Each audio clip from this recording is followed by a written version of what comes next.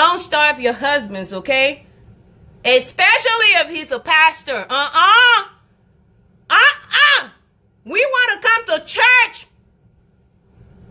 And we want to hear a Holy Ghost filled minister who is doing the right thing to lay his hands on us.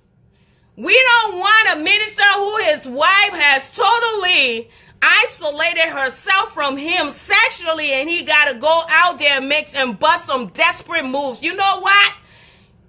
Especially if you're a pastor wife, you better do what you need to do and keep our pastor right with God. We don't need our pastor going out there and committing adultery, okay?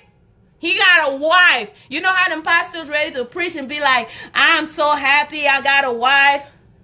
And they'd be like, sweetheart, get up, wave. And we'd be like, oh, she's so cute. Oh, I love the pastor wife. She's so pretty. You know, and pastor don't like ugly women. They pick some really nice women. You stand up with your nice self and everybody proud of the pastor's wife. She looking all decent with the missionary skirt, makeup, you know, everything looking all smooth. We proud our pastor got a wife. And then you go on, you're not supposed, you're not doing what you're supposed to do for our pastor to remain on track and focus on the things of God. God forbid, God will punish you.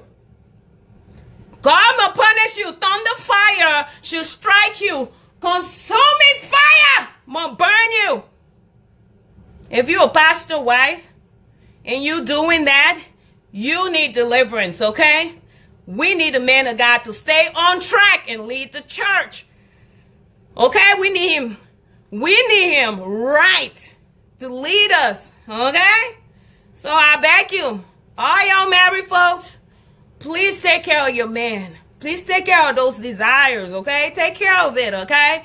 Don't